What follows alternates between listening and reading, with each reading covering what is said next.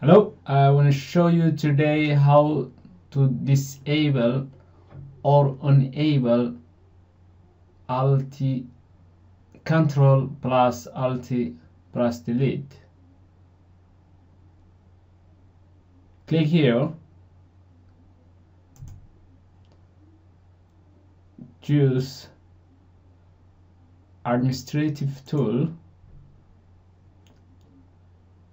go a little bit down. Choose one. Local security policy. Double click.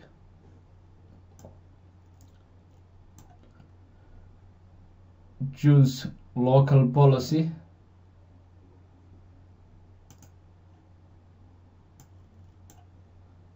Choose option.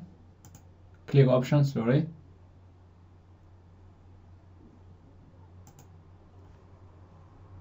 price intel interactive just down over there. That will you modify. Double click. This one coming up.